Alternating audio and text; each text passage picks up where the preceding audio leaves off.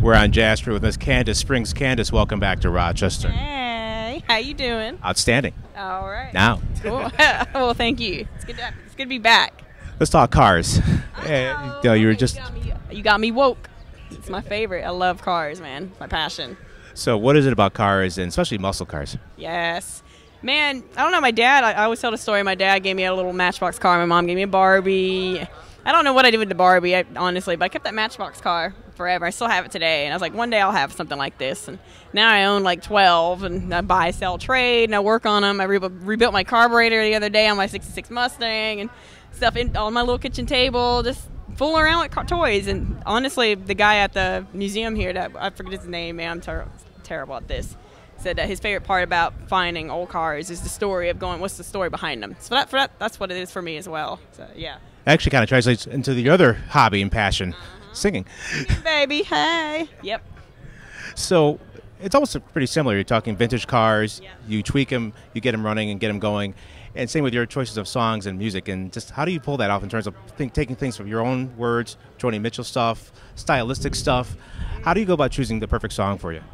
choosing a perfect song. Just well, honestly, it comes like when you hear something, it just moves you. It doesn't matter where it comes from. It could be by anybody. I was mentioned earlier, my influences like are um, Ella Fitzgerald to Nina Simone, which she's a great song interpreter and a writer, everything, to um, Luther Vandross, Eva Cassidy, Sarah Vaughan, and many more. Bill Evans and Oscar Peterson. These are all my influences. And um, to go to the classical side, I love Debussy. Chopin is my favorite of them all, and Beethoven, Bach. So I've mixed all of these influences into what I do now, and um, it's come a long way. So I'm really pleased that we're getting to play here. And uh, my father's been a huge influence. His name's Scat Springs.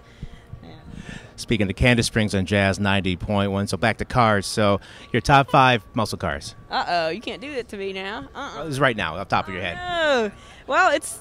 I mean, it's sort of considered muscle, but Corvette might be my my fir- first favorite. After that, probably the. Um, dang man, that's a tough one. I might like the Mustang after that, but I have a uh, I, have a collection of cars. Like I have a 1928. It's a you know it's a hot rod T bucket with a 454 big block in it. And I have a 390 Thunderbird and some other things. A 52 MG TD, and then um, what else do I have? A 66 Mustang. It's a three speed.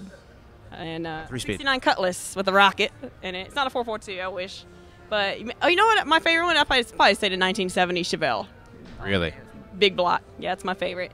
It's got to have a manual transmission now, and then it'll be the perfect beast on the face of the earth. Speaking to Kandace Springs and Jazz 90.1, playing two shows tonight over at the, uh, not the Squeezer stage, but the Temple Building Theater. Again, Kandace, thanks so much for hanging out with us today. Thank you. Appreciate your time, guys. Have a good one. Yeah. Peace.